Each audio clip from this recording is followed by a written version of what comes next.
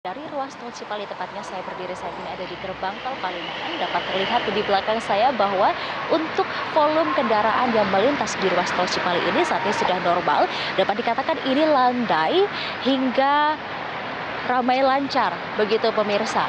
Dan bisa dikatakan pula untuk saat ini untuk kendaraan yang melintas didominasi oleh kendaraan pribadi.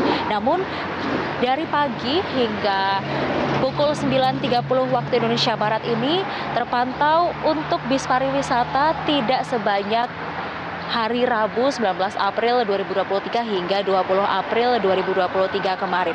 Dan untuk cuaca saat ini memang cerah berawan pemirsa dan jelang sore biasanya untuk kendaraan ini mengalami penumpukan. Namun jika hari ini diprediksi menurun, maka kemungkinan besar tidak akan ada penumpukan pada sore hari saat jelang berbuka puasa. Mengingat hari ini adalah satu hari jelang lebaran sehingga bisa dikatakan bahwa didominasi maksud saya pemudik ini sudah berangkat sejak 19 April atau sejak sebelum 19 April 2023 kemarin sehingga dapat terlihat di depan di layar kaca Anda bahwa kondisi ruas tol Cipali ini landai hingga ramai lancar dan laju kendaraan pun ini memang dapat dikatakan 50 km hingga 60 maksud saya 60 km hingga 80 km per jam.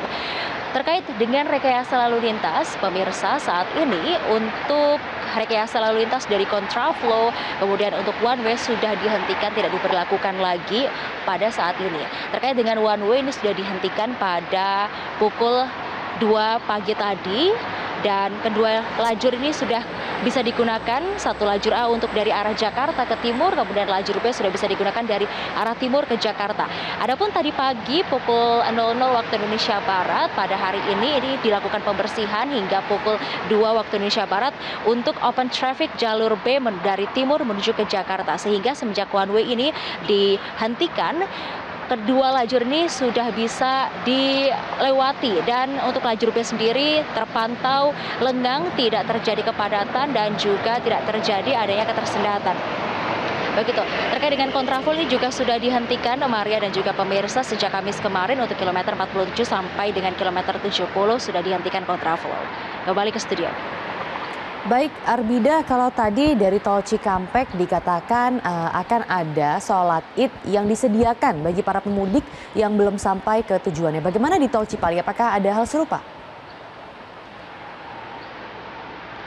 Baik, terkait dengan sholat id untuk pemudik yang masih berada atau masih melintas di ruas tol Cipali, dari pengelola tol Cipali sendiri mengatakan bahwa tidak menyediakan adanya uh, agenda sholat id di rest area yang berada di ruas tol Cipali ini, sehingga kemungkinan besar disarankan untuk uh, para pemudik ini jika ingin melaksanakan sholat id untuk keluar dari gerbang tol terdekat di ruas tol Cipali untuk uh, melaksanakan sholat id di masjid di masjid terdekat setelah keluar gerbang tol di ruas tol Cipali.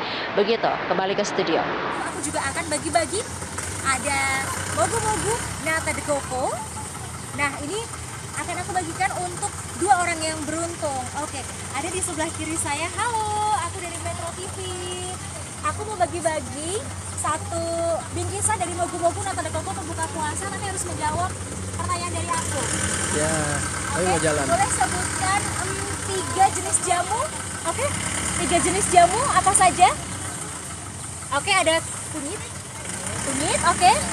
jahe, kencur, oke, okay, benar sekali kunyit, jahe, kencur benar ya. Oke, satu bingkisan dari Nobu Nobu Nata de Coco untuk berbuka puasa saat sebelum lebaran. Terima kasih, Bu.